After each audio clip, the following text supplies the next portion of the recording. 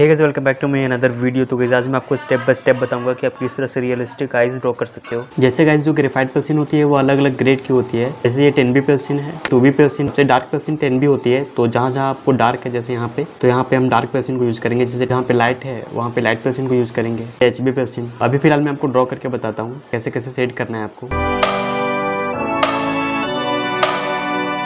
तो वही सबसे पहले मैं आउटलाइन ड्रॉ कर रहा हूँ एच बी पेंसिल से।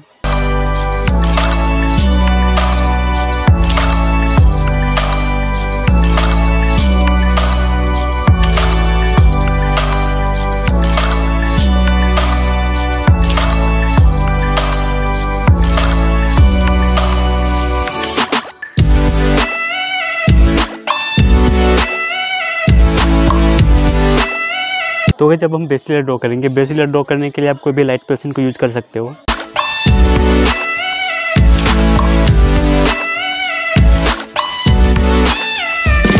तो अगर आप फ़ोटो को अच्छे से ऑब्ज़र्व करोगे पाँच मिनट तो आपको खुद पता चल जाएगा कि कहाँ पे लाइट एरियाज़ हैं और कहाँ पे डार्क एरियाज़